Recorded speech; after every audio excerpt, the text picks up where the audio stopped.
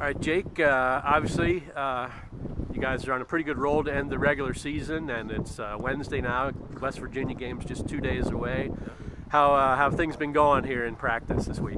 They've been going well. Uh, the energy here is great. Everyone's getting really excited for the game, and we're just kind of piecing together our tactics to get ready for the game. Hopefully, to win. So. Um, do you, and I mean, I know you're going to be prepared and you're working hard, but is there any sense of, I mean, you guys, you know, a couple weekends ago, you know, Western Michigan's lining up a PK that if they score, we're eliminated from the tournament. I mean, is there any any kind of sense of like a, a second life, or like you guys are sort of, you know, a little more loose because you're kind of kind of had a new sort of new lease on life like that? No, I think uh, I think we've always had the same mindset going into it. We knew that Ryan would come up big with that save, and we'd be there. So we knew we were going to make it to the MAC tournament. That was one of our goals, and now we're here, and I think we're just ready to kill it out there.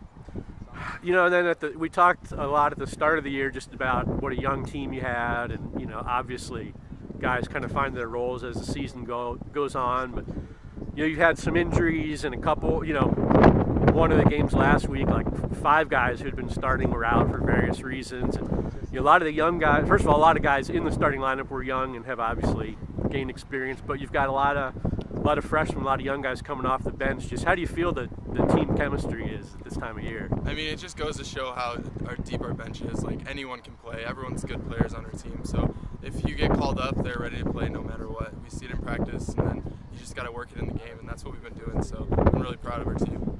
And then finally, just your thoughts on West Virginia. You guys have had, uh, you know, really the last three years, regular season, you've had re- really close battles with them. Uh, they they got a late goal to win this year. You guys went down there and tied last year. Just thoughts on uh, the West Virginia series and leading into Friday? Yeah, I mean, there's always it's always good battle between us, and they're a great team. So uh, we just got to come out and play harder than them, and then we'll get a result. So we're looking to do that this weekend. All right, sir. Thank you very much. All right, thank you.